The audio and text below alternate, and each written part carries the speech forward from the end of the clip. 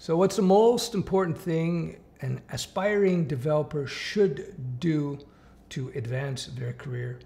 The first thing you got to do is you got to get that first job. Yeah, you got to get that first job. That means you shouldn't be stuck in tutorial hell doing endless tutorials thinking, I got to learn this before I can go forward. I got to learn that before I can go forward. I got to learn this before I can go forward. You learn most of the learning is in the uh, job. So you want to get your foot in the door as quickly as possible.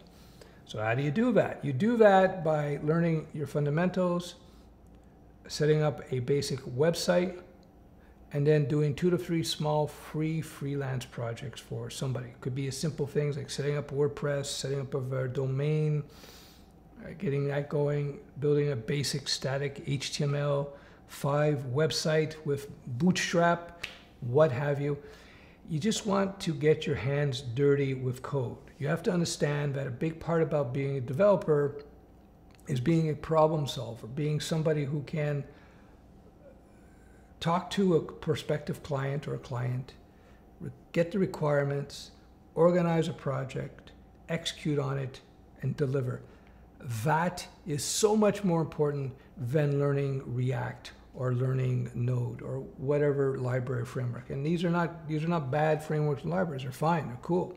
But all I'm saying is that you want to get practical as quickly as possible. So once you get those fundamentals down, you get out of tutorials, and you start getting into building real things. If I wanted to sell a bunch of courses, I guess I could create a course on React, another course on Node, another course on Vue, another course on X, this library and that library, and so on, and keep feeding you courses. You don't want to do that. That's just it's the wrong way to approach it. You want to get in the ring. Something I learned a long time ago in business and in boxing, and of course, software developer. You don't want to be caught in the academic circle the rabbit hole where it gets you nowhere. You want to get into the ring, build real things as quickly as possible. So there you go. That's the number one thing you got to do. Um, let me just read this comment I made on Twitter a couple days ago with regards to the subject. The most important thing you can do as a as an aspiring web developer is to get your first job. Any job writing code. Consider the first job as a crucial part of your education because that first job is where you will level up your skills in a huge way. So that's it. Get out of tutorial hell. Don't worry about not having learned uh, the the important framework. You want to just get those first few simple jobs. That's how I lead people. That's how I mentor people in my mentoring program.